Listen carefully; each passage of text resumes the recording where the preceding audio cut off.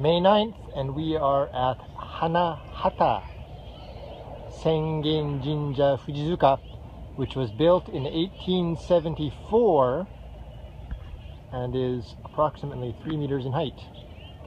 It was actually designed by an artist who built another few Fujizukas in the area. So let's go take a look. The approach looks very nice indeed. The azaleas are in beautiful bloom up there. I love the color. You can see the lava rock and the back door entrance here with the sneak attack up Fuji. This area is where there was a volcanic slide. You probably, after having seen dozens of these Fujizuka videos, can get a rough idea uh, image of this as you've seen it before. Here's another access point up Mount Fuji.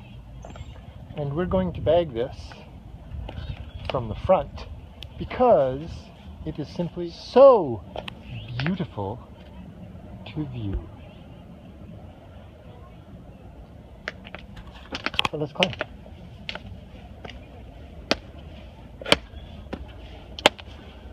And here we are. We reached the top of Sengen Jinja and it's empty, which means that they must have deconsecrated it perhaps, but we are here at the top and looking down at these beautiful azaleas.